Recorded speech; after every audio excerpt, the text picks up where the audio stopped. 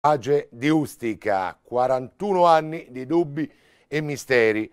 Parliamo di quanto avvenne il 27 giugno del 1980. Sono passati dunque 41 anni e sono stati già ricordati e celebrati con le commemorazioni che si svolgono ogni anno e sono stati 41 anni, dobbiamo dirlo, di incessanti polemiche, di posizioni assolutamente granitiche dalle quali nessuno si discosta. Adesso ne parliamo con eh, uno dei nostri ospiti che è un po' il compagno di viaggio quando parliamo diciamo di indagini ad alta quota per così dire, per mutuare un termine, un titolo molto in voga. Lo ritroviamo con piacere, l'esperto sicurezza volo Antonio Bordoni. Bentornato a Cusano Italia TV. Eh, buonasera e grazie dell'invito. Prima però di sentire quella che è l'opinione dell'esperto sicurezza volo sulla strage di Ustica, presentiamo e ricordiamo la vicenda con il servizio di Aurora Vena, montaggio di Claudia Di Fonso.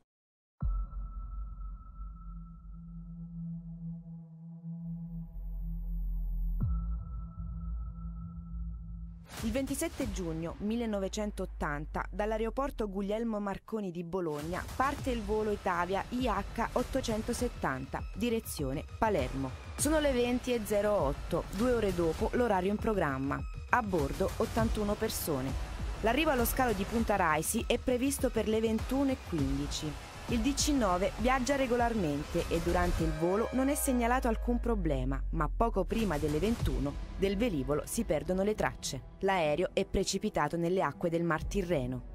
Nella notte numerosi elicotteri, aerei e navi partecipano alle ricerche nella zona, ma solo alle prime luci dell'alba un elicottero di soccorso individua a circa 110 km a nord di Ustica alcuni detriti in affioramento e i primi corpi delle vittime. Delle persone a bordo, 77 passeggeri, di cui 11 bambini e 4 membri dell'equipaggio, nessun sopravvissuto. La mattina dopo tutti i giornali riportano notizie della tragedia e si iniziano anche a fare le prime ipotesi sulle cause del disastro. Cosa può aver causato la caduta del DC-9? Forse un cedimento strutturale, un missile aria-terra, una battaglia tra jet militari che colpisce per sbaglio un volo civile oppure una bomba. A 41 anni di distanza, tanti aspetti della tragedia rimangono ancora avvolti nell'oscurità. Sebbene alcune sentenze civili che hanno accordato il risarcimento ai familiari delle vittime accreditano l'ipotesi per cui l'aereo potrebbe essere stato colpito per errore durante una battaglia militare. La strage di 41 anni or sono, nel cielo di Ustica, ha lasciato la Repubblica senza una verità univoca capace di ricomporre appieno il quadro delle circostanze e dei responsabili. Così il Presidente della Repubblica, Sergio Mattarella, il 27 giugno scorso, in occasione delle commemorazioni.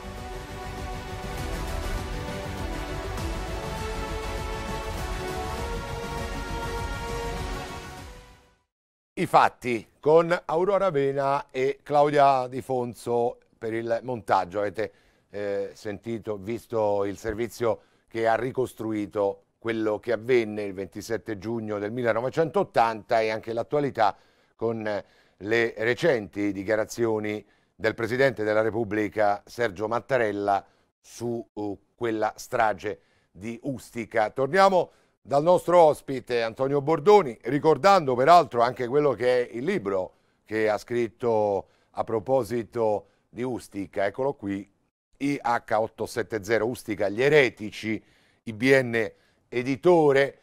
Ecco gli eretici, diciamo subito perché Antonio, no? Perché tu hai sempre sostenuto un'altra tesi rispetto a quella che mediaticamente anche dal punto di vista delle istituzioni eh, viene considerata la tesi ufficiale. Però proprio le parole di Mattarella fanno riflettere, no? Perché no? parla di una situazione, mh, diciamo, per la quale ancora non c'è una verità univoca, no? Non è ufficiale la situazione che si è creata in Italia. Sulla situazione di impasse che si è venuta a creare su questo incidente, io vorrei invitare tutti a riflettere su un particolare molto importante. se voi prestate attenzione a tutti i dibattiti che si svolgono su Ustica, ascoltando i confronti dialettici dei personaggi che si alternano a sostenere le rispettive tesi, noterete che affermano che quel giudice ha detto che la sentenza afferma che la Cassazione ha stabilito che il Tribunale ha detto che, eccetera, eccetera. Ebbene, tutti questi termini indicano un clima processuale da aule giudiziarie. Tutto ciò è surreale, è assolutamente fuori da ogni logica ed è assolutamente contrario a ciò sempre avvenuto all'indomani di un incidente aereo in ogni paese aeronauticamente civile. Io vorrei ricordare che il 17 luglio 2014 nei cieli dell'Ucraina è stato abbattuto per errore con un missile un Boeing 777 della Malaysian Airlines. L'incidente ha causato la morte di tutti i 298 occupanti a bordo. Ebbene, oggi per quell'incidente, malgrado fin dall'inizio si sospettasse l'abbattimento, sono disponibili due, ripeto, due distinti rapporti uno, quello tecnico svolto da investigatori aeronautici professionisti, e l'altro, quello giudiziario, che ha il compito di appurare chi è stato l'autore materiale della sciagura. Questo è il modo di procedere corretto.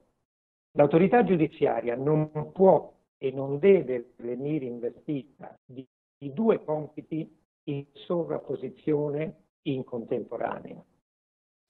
Ecco, Avremo molti contributi, lo anticipo, in questo eh, capitolo da ascoltare, oltre al servizio. Adesso, visto che abbiamo un ospite che ci sta dicendo delle cose mh, poi basate anche su, su dati reali a proposito dell'assenza di quella che fu l'indagine tecnica, che non fu l'indagine tecnica per questo incidente, sentiamo per così dire un'altra campana, il pensiero di Andrea Purgatori, ribadito il 27 giugno del 2020 in occasione del quarantesimo anniversario della strage di Ustica. Lui, giornalista del Corriere della Sera, quando era cronista del Corriere della Sera, coniò proprio eh, la definizione il muro di gomma. Andrea Purgatori.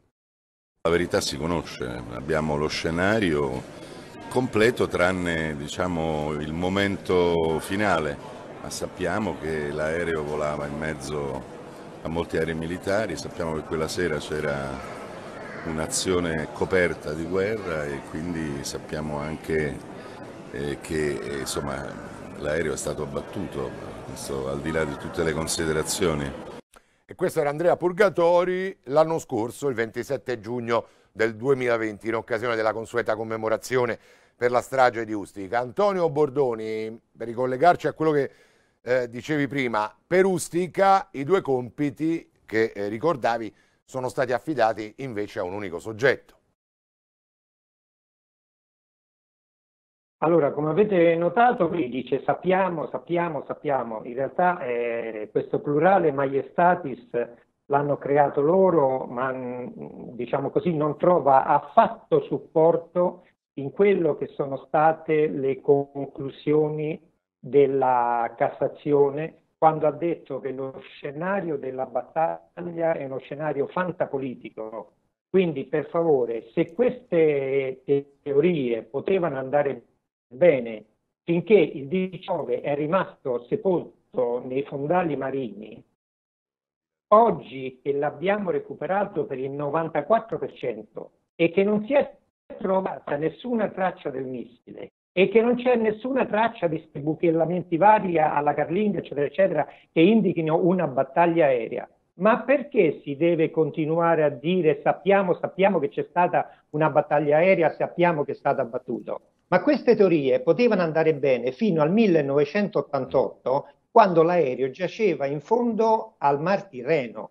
Una volta che il relitto è stato recuperato, una volta che si è visto che non c'è traccia del missile, ma come si fa ancora oggi a sostenere che sappiamo che c'è stata una battaglia aerea? Le rogatorie non hanno avuto nessun riscontro ufficiale. perché non c'è stato nessun paese coinvolto in nessuna battaglia aerea. Ma voi vi rendete conto che cosa vuol dire abbattere un aereo civile in, mentre svolge un servizio di linea mm, così eh, da parte di un aereo militare?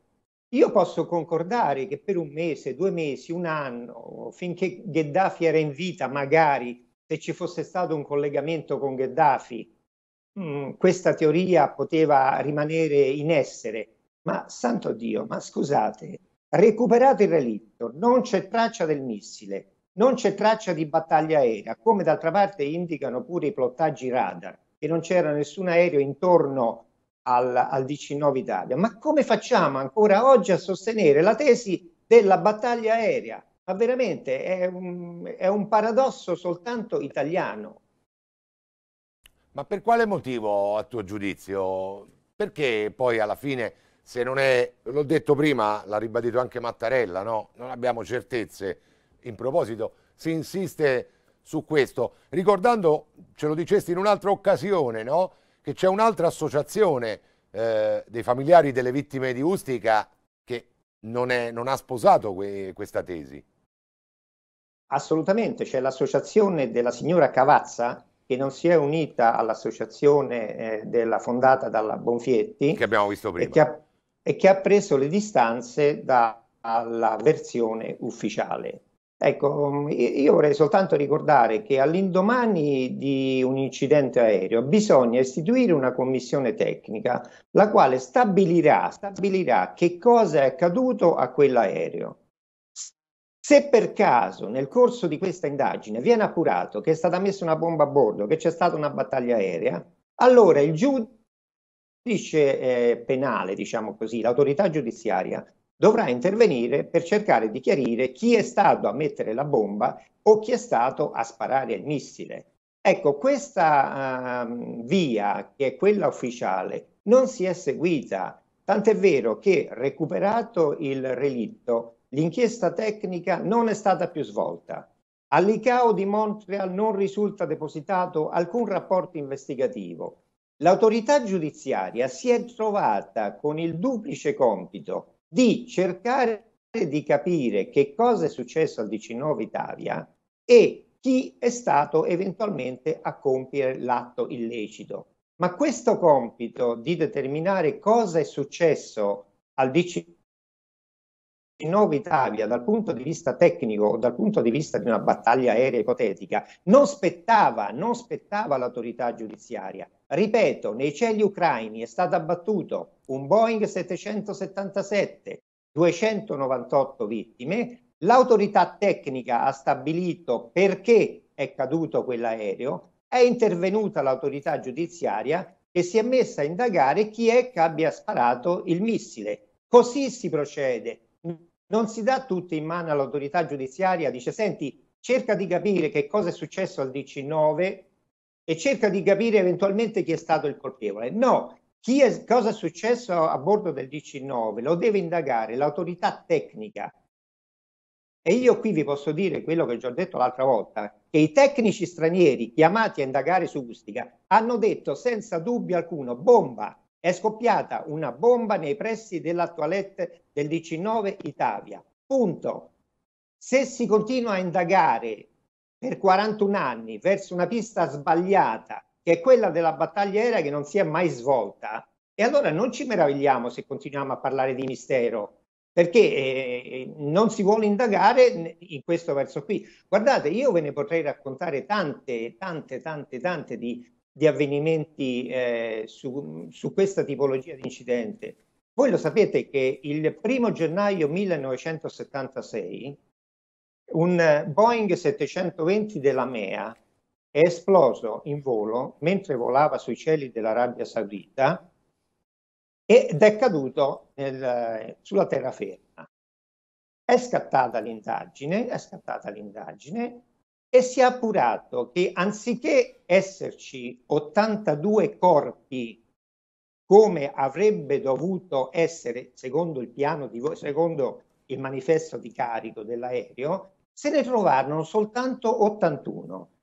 Bene, da questo fatto qui dall'aver scoperto che anziché 81, 82 passeggeri a bordo se ne erano imbarcati 81, si è cercato di capire chi fosse il passeggero che si era prenotato, che non si era imbarcato, che aveva messo una valigia con la bomba, è stato individuato, era di un gruppo yemenita e questo personaggio ha detto era mia intenzione far scoppiare la bomba una volta che l'aereo arrivata, era arrivato all'aeroporto yemenita eh, dove la sua destinazione finale. Sì. Purtroppo per una serie Quindi di... Quindi senza causare vittime, non avrebbe dovuto causare vittime. Eh. Esatto. Purtroppo per una serie di ritardi del volo con cui partì da Beirut, l'aereo è esploso in volo. Mm. Ma io vi dico una cosa, che se quell'aereo fosse caduto nel mare anziché sulla terraferma, oggi a Beirut le autorità libanesi si starebbero ancora chiedendo come mai quell'aereo è caduto, che cosa è successo.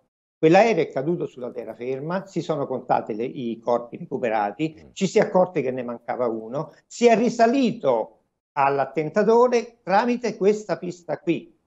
Anche per Ustica, io vi vorrei ricordare che alle ore 20.59, ora dello scoppio eh, sul Mar Tirreno, l'aereo da un'ora e mezza si sarebbe dovuto trovare sulla pista di Palermo perché l'orario, il timetable dell'Italia indicava che IH870 era l'ultimo volo della giornata che doveva terminare a Palermo alle 19.30.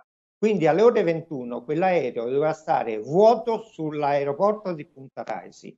Ora io vi chiedo, immaginando un attentato dimostrativo, chi è quel personaggio che avendo causato 81 vittime mentre invece voleva far scoppiare un aereo vuoto sulla pista di Palermo, eh, sull'aeroporto di Palermo, si va ad autodenunciare. Sì. Anche questa era una pista che andava seguita e che non è stata seguita per niente. È soltanto stato detto no, ma non c'è stata nemmeno una rivendicazione, quindi non può essere stata una certo, bomba. Eh. Certamente non c'è stata rivendicazione, come non c'è stata rivendicazione nel caso dell'aereo della MEA, perché uno pensa di farla franca, poi guardate che la faccenda delle due ore di ritardo da Bologna non ha assolutamente alcuna rilevanza. Si è continuato a dire questa balla, eh, scusate un po' d'acqua.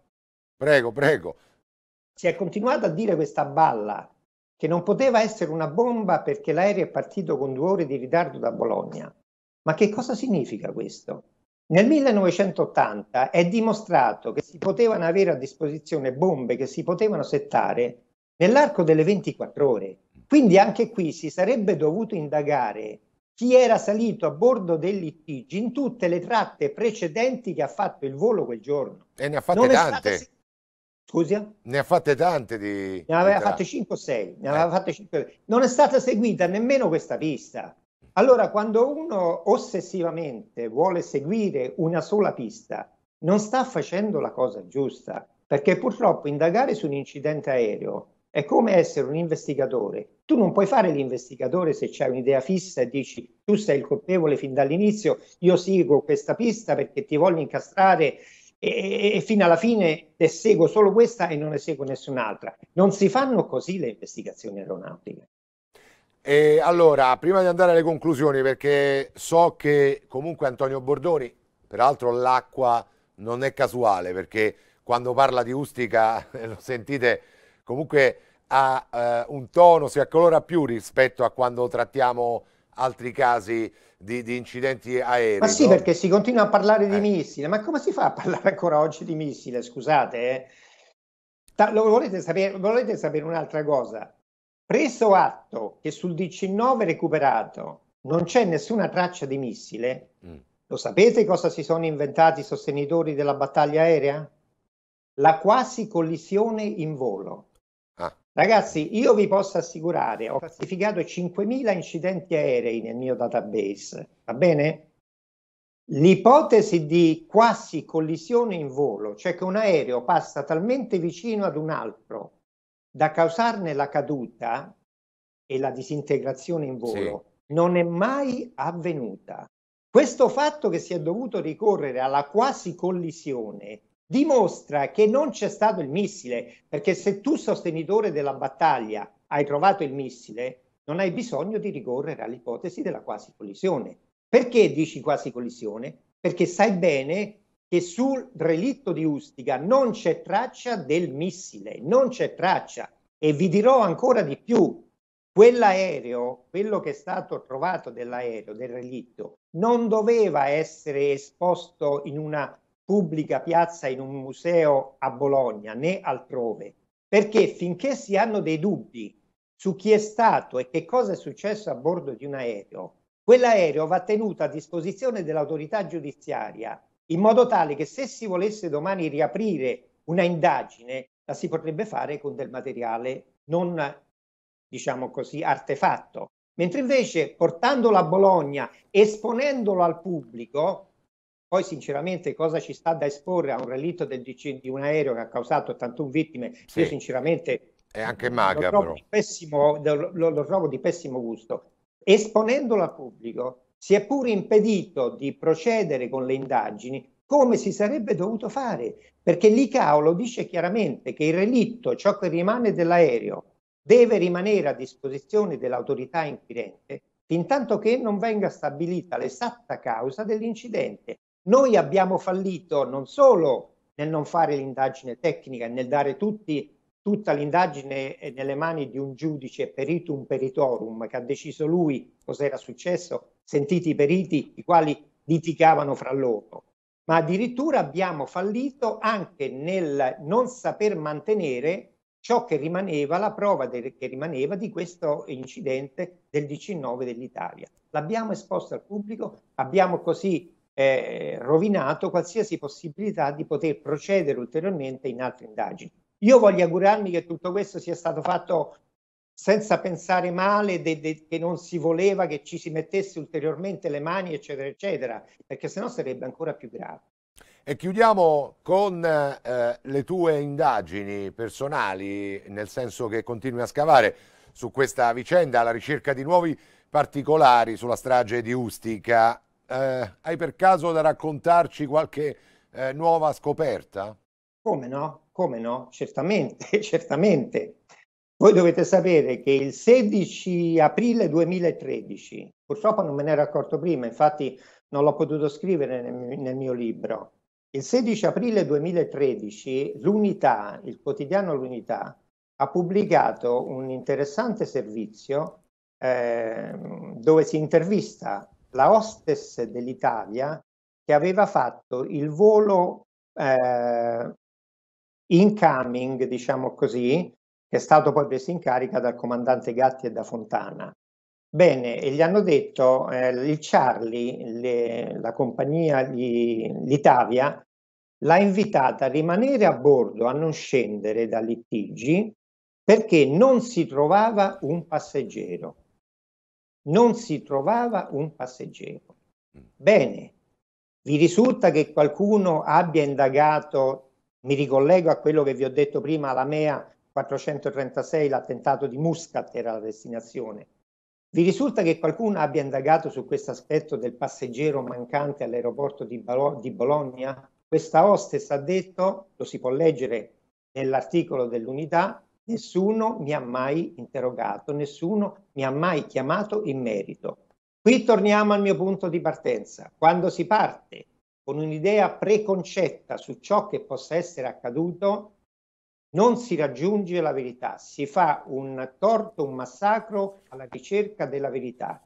Se si vuol fare l'investigatore aeronautico bisogna partire da zero, avere il campo livellato al massimo e non pensare subito potrebbe essere successo questo o quest'altro. E vi dirò ancora un'altra cosa che forse può interessare a tutti i nostri ascoltatori.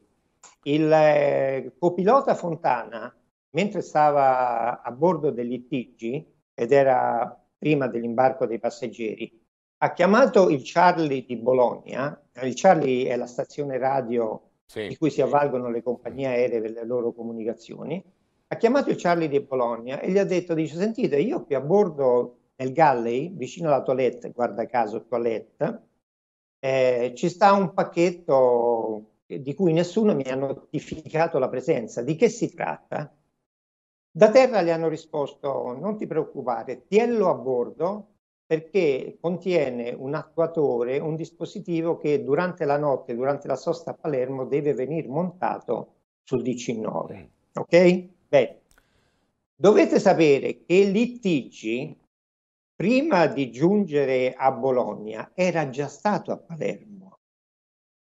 Allora, quel pacchetto dove è stato caricato? Da chi è stato caricato? E perché non è stato notificato all'equipaggio di Fontana e Gatti che comandavano il DC-9 TG da Bologna a Palermo, guardate che avete a bordo questo apparecchio.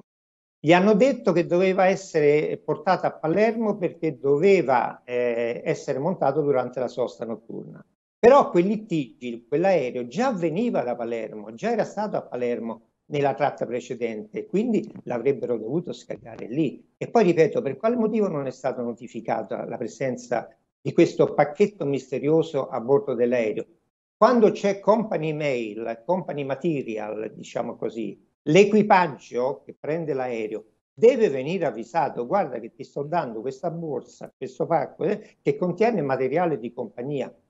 Gatti e Fontana non erano stati informati che a bordo c'era questo pacchetto. Peraltro vicino alla toilette, no? Questa Bravo, cosa inquietante. Vicino alla toilette dove se bomba è Taylor stata... ha detto eh. che è scoppiata la bomba, va bene? Dove eh. Taylor ha detto che è scoppiata la bomba. E guarda caso, ve ne dico un'altra, eh, quando c'è stato l'interrogatorio degli addetti a terra dell'Italia, questi hanno detto che non trovavano più il foglio, la copia gialla del quaderno tecnico di bordo che doveva contenere tutte le informazioni che venivano date al comandante prima della partenza del volo. Quindi guardate che di cose da investigare, ma ve ne potrei dire a Iosa I che lati sono oscuri sono tanti, insomma. trascurate, tutte trascurate. E poi, mh, curiosità mia, io ricordo Beh. che eh, alcuni esperti, qualcuno disse che deflagrazione ci fu, ma dall'interno dell'aereo. Quindi si presume che se è stato un missile eh, la deflagrazione è esterna. Non ricordo chi disse questa cosa, i primi esperti, i primi accertamenti.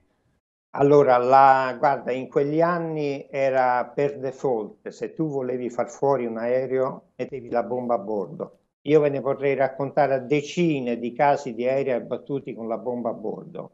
Quando eh, la commissione Luzzatti chiuse i battenti nell'82, disse che a bordo c'era stata un'esplosione, però, però non avendo recuperato nemmeno il, il 5% del relitto, non poteva, dice, guardate, certo. se volete che andiamo avanti con le indagini, portate su il relitto e eh, diciamo così, noi tecnici vi potremmo essere più precisi. Ma già la commissione Luzzatti aveva parlato di esplosione interna, senz'altro. Grazie ad Antonio Bordoni per questo nuovo capitolo su quella che è stata la strage di Ustica, eh, soprattutto il suo parere da esperto sicurezza volo, da chi ha indagato. Ricordiamo il libro, se volete leggere, IH870 Ustica, gli eretici, IBN, casa editrice. Grazie ancora Bordoni, alla prossima. intanto sappiamo già che cosa è successo, tutti sanno cosa è successo, è inutile eh. continuare a parlare. E per questo tutti. sei un eretico. Tutti, eh, esatto, esatto. C'è anche Giordano Bruno in copertina. Grazie. Buon lavoro. Buon Grazie lavoro, Bordoni. Chiudiamo il capitolo andando a sentire dal punto di vista istituzionale, abbiamo ricordato le parole di Mattarella, ma un passaggio ora dell'intervento del Presidente della Camera Roberto Fico in occasione dell'incontro con l'Associazione dei familiari delle vittime questo è un incontro avvenuto il 21 giugno scorso. Sentiamo il Presidente della Camera. Alcuni tasselli sono ormai acquisiti. In sede civile, come è noto, la magistratura in via definitiva ha ribadito che la causa più probabile della sciagura di Ustica va individuata nel lancio di un missile ed ha stabilito che gravava sul Ministero della Difesa l'obbligo di assicurare la sicurezza nei cieli e di impedire l'accesso di aerei non autorizzati o nemici e sul Ministero dei Trasporti l'assistenza e la sicurezza del volo. Ciascuna istituzione deve ora adoperarsi perché gli altri tasselli della verità emergano e siano posti nel giusto ordine. Per parte sua la Camera sta proseguendo in questa legislatura l'azione di declassificazione, versamento agli archivi e pubblicazione di tutti gli atti relativi, tra le altre cose, alle vicende oscure degli anni di piombo, acquisiti o formati dalle commissioni parlamentari d'inchiesta, tutti consultabili sul portale unico delle commissioni d'inchiesta. Ci sono infine altri due punti su cui intendo ribadire l'impegno mio e di tutte le istituzioni. Il primo è volto ad assicurare l'effettiva attuazione delle direttive adottate dai Presidenti del Consiglio dei Ministri al fine di rendere pubblici i documenti relativi ad alcuni tragici eventi degli anni di piombo. Mi riferisco in particolare all'applicazione della direttiva dell'aprile del 2014, i cui risultati, come più volte sottolineato dalle associazioni dei familiari delle vittime, non sono ancora soddisfacenti. Occorre anche valutare con attenzione l'opportunità di riformulare, alla luce dei rilievi delle associazioni, la direttiva in modo da realizzare la più ampia ed effettiva pubblicità dei documenti in questione. Sono convinto che questo sia un tema da mettere presto in agenda. Il secondo attiene all'esigenza di ottenere massima collaborazione dalle autorità di altri paesi che potrebbero essere coinvolti nelle vicende oscure della nostra storia. Per parte mia ho sottoposto al Presidente dell'Assemblea nazionale francese, Richard Ferrand, l'esigenza di una piena cooperazione della Francia nel percorso di verità sulla strage di Ustica.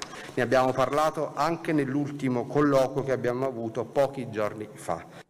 E così dunque il Presidente della Camera Roberto Fico il 21 giugno scorso, l'incontro con l'associazione familiari delle vittime della strage di Ustica. Con le parole del Presidente della Camera chiudiamo anche questo terzo capitolo di Crimini e Criminologia. Tra poco la consueta Galleria degli Orrori, un altro serial killer da scoprire insieme, eh, di cui parlare. Quindi restate sintonizzati sul 264 del Digitale Terrestre.